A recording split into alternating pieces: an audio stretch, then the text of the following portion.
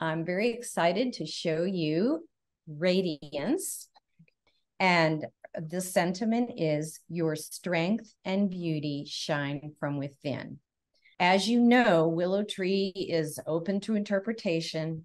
We want to keep it that way. And so your thoughts, your comments are just as valid as mine. So this is a little bit kind of where my head was a word about a year before I did this piece, a word I just kept thinking of was beauty and what that means to different people. And I think that more often than not, we're we're not necessarily talking about how someone looks, but how they make you feel that kind of goodness.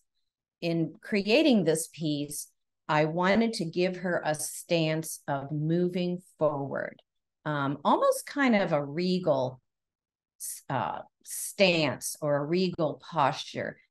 And so she's sort of stepping forward, moving forward in a physical way, but also metaphorically. And so when I was making the piece, it was always about what is the viewer going to feel when they view when they look at this piece how do they feel and so when you turn her you get kind of a different mm-hmm. interpretation or a different sense of that. Okay, Great. so here I'm working with a, a doll clay and I work with it well, it's very supple and movable. And sometimes it gets a little floppy. So I have to um, bake certain parts. But here you can see she is she is very still movable. And I I like working with it because I can, like I said, I I curve, I carve in the round because we express ourselves 360 degrees. So for me to get the body to twist or to counterbalance, the whole thing has to be uh, supple. And here I'm working with your chin, kind of pushing it up. That's a little support I have under there. It's yeah. not a beard. So um so you, you can push see, and pull. Yeah, pushing and pull. pulling and and you know, I work from live models, so I'm I'm looking at that too, looking at the models. So here you can see her body and her arms are already baked hard, but her hair I'm doing last because I can't press on the hair when the, the body and the chin is supple. So now I'm playing around with hairdos and I looked at many hairstyles, um, both modern historically and trying to kind of do sort of my own thing. Um, and so I'm working in the clay soft on her head, but the rest of her is already. But I haven't gone in on gone in and done the final surface carving yet with the knife.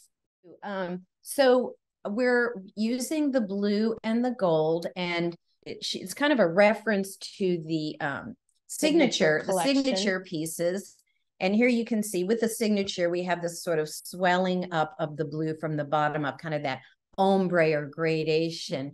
And I have to give credit to the team and especially Andrea. I'm going to call her out here. She said, Well, why don't we, you know, do the whole thing? Let's try one, bring the blue all the way up. And we're like, Okay, let's try it. So we loved it when we got back our, our first sample. Um, the, oh, the neckline we talked about. The neckline, yeah. Yeah. Yeah. So I think we, we dropped the neckline a little bit. It's kind of an experiment on this piece in the back and the front. Ballet, well, reference to dance and movement.